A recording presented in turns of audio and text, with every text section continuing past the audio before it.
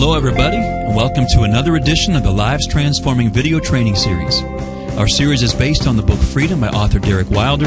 My name is Brent Henderson.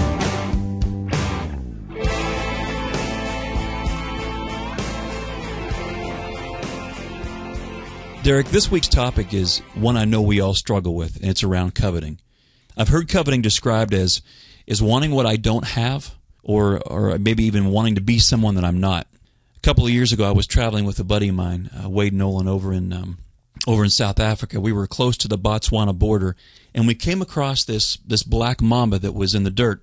And my buddy said, "Hey, Brent, grab the camera." Well, he goes over and grabs his stick and he pins this thing down to the ground. Now, you have to understand a black mamba is the second deadliest snake in the world. You know, they say when if you get bit by one of these things, you better just sign your traveler's checks. And so he took this thing, caught it, I filmed him on camera.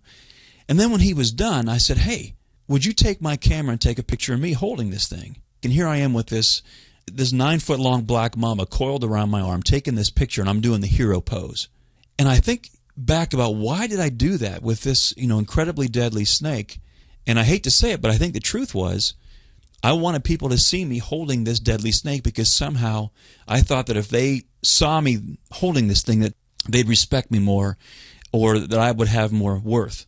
Um, I was talking to a guy uh, in a coaching session. We'll call him uh, David. He grew up as the the jock. He was telling his story about how he he could kind of get whatever girl he wanted and this sort of thing. And he ended up marrying and having a couple kids and uh, had a good job. It just everything was going well. And all of a sudden, his life started kind of unraveling. And David was very, I think, very upset with God. He started quoting, he knows the Bible very well. And he started quoting some scripture out of Proverbs and talking about how God, as, as God's children, you know, you know, the blessings that come from God towards his children is something that he's counted on all his life. He just can't understand why God stopped blessing him. And I saw I went a little further and and I said, well, first of all, how how would you define blessing? And he said that it was food, shelter, clothing. You know, you read in Matthew 6 where God's going to take care of those things. He just couldn't understand why these blessings were not happening more and more. And I said, well, if God does that for you, how does that connect you with him versus what's happening right now? And he says, well, that, that's evidence of God's love, he said. Then when he provides these things for me, um, I know that he loves me. But right now, I don't even know if he loves me. We need to introduce this guy to Job. Well, it's very interesting that you mentioned that because he brought up Job a number of times. Oh, wow. So, as we're talking about Job and we're talking about his particular life, and we've talked now about blessings and we've connected him to God's love, I then asked him to define love. I said, David, it sounds like that if blessings of God are evidence of God's love, then the definition of God's love would be to what? And he goes, Well, I guess it would mean to bless me. And I said, So your definition of love, it sounds like, is, in fact, what would you say your definition of love would be then? And he goes, Well, I guess it's giving somebody what they want. now, I mean, you can see how easy we can get messed up. Oh man. I mean, we live in America. Most of us do. Not everybody listening to this does, but and we listen to uh, preachers and we listen to you know TV broadcasts from preachers that talk about that. You know, if you're a Christian, then you're going to be blessed, and blessed means blessings, and blessings means money, and money means God loves you.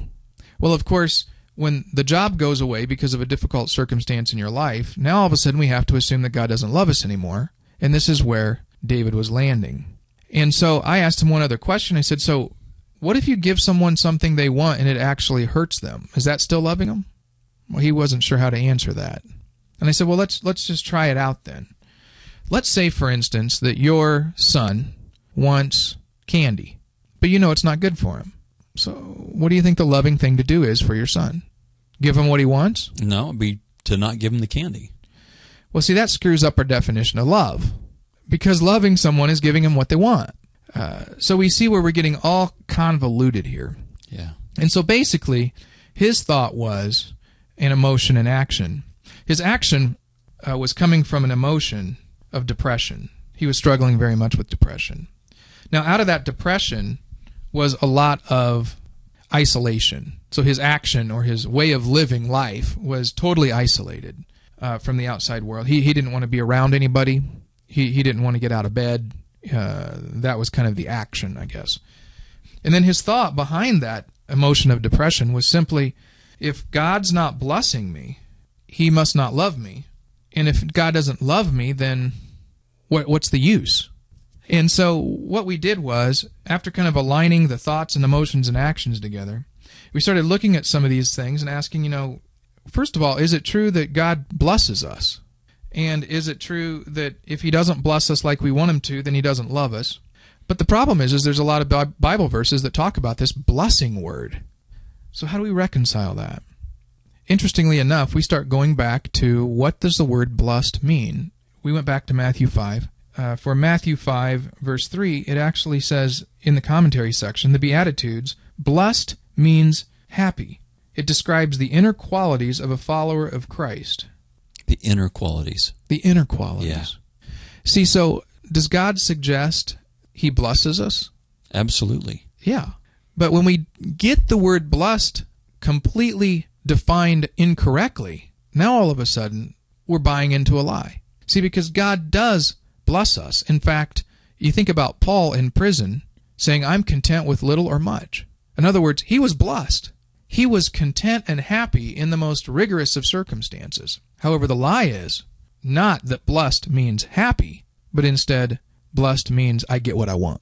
We believe that if we get the money, or we get the woman, right, or we get the guy, or we get the family, and we get these things outside of ourselves, then that means God's blessed us. Yeah. The irony is, blessing is an internal quality. It's not an external quality. And so, what God promises is this if you have a wife, but you're connected to the source, me, you can be happy. You're blessed. But if you don't have a wife, but you're connected to the source, which is me, God's talking here, then you can be happy. You can be blessed. Which is why it makes so much sense when Eugene Peterson paraphrases the verse in Matthew 5 that says you're blessed when you're at the end of your rope. Because you lean more on God. You're not depending on a spouse or a family or a job to cause the happiness. But when we turn around and we allow those things to cause our happiness, now, this isn't about God at all. This is about these things outside of us making us happy. And this is where we get tripped up with the lies. Does it make sense that God would maybe change the course of your life to move you towards healthiness if He actually loved you? Yeah.